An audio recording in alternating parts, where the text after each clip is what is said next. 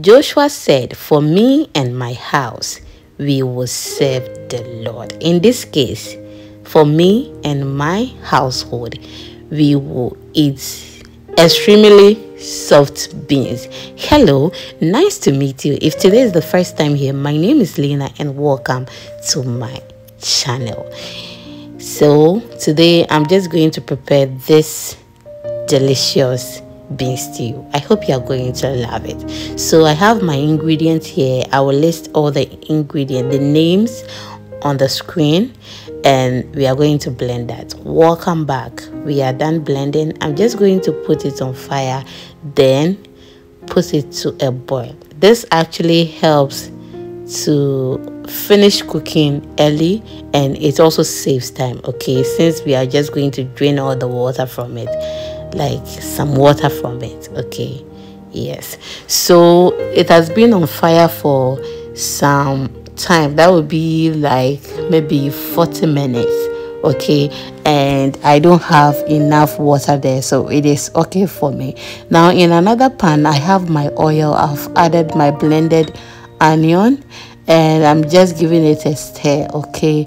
After some few minutes like 10 minutes or 5 minutes. I'm just going to add the things we blended earlier. So that is actually the tomatoes sauce. So i've added that and i'll wait for a while then add my natural spice i made at home. Okay that is spice and herbs. I've added my seasoning cube as well and i'm mixing it very well. I've added some salt so I'll wait for a while, then add the next ingredients. So the next ingredient we are going to add is our mackerel in tomato sauce. Oh my god. If you add this to your um bean stew it takes it to another level so if you've watched me till this point and you haven't subscribed please what are you waiting for can you please smash on the red button for more videos and updates. Thank you for doing it. I see you subscribing. Yeah.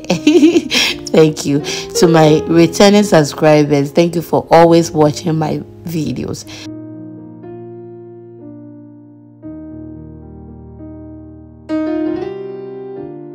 So you can actually add a tomato sauce okay? That was in the uh, the mackerel thing but i don't prefer that way okay so after I, I waited for some time i will just add my uh, beans.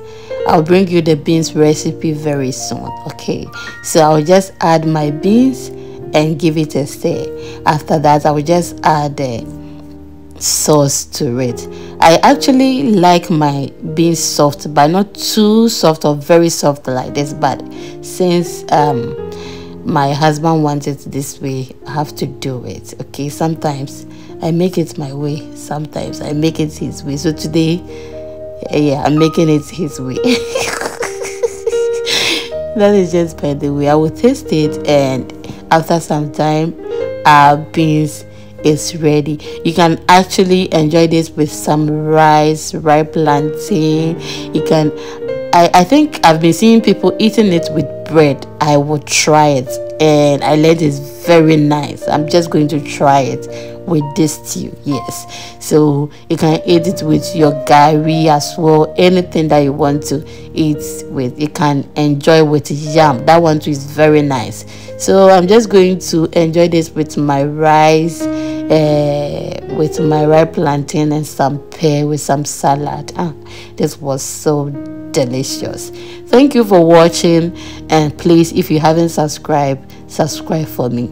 And follow me on my facebook page at exhibiting mommy's recipes and also instagram at lovely mina 1992 then follow me on tiktok. I will actually leave all the handles on the screen. Thank you once again and see you in the next one. I love you